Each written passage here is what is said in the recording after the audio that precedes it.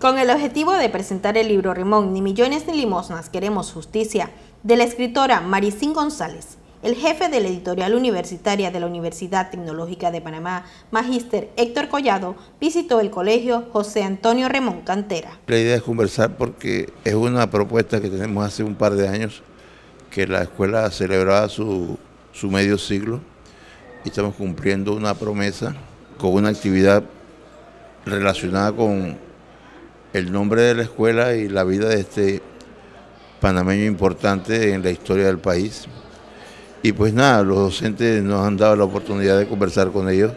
sobre el libro, sobre la vida de Ramón y estamos muy contentos con la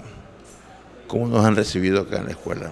El libro, diagramado y editado por la Universidad Tecnológica de Panamá, cuenta desde el punto de vista de la autora aspectos importantes de la vida de quien fue presidente de la República de Panamá, su evolución, crecimiento, aciertos y errores.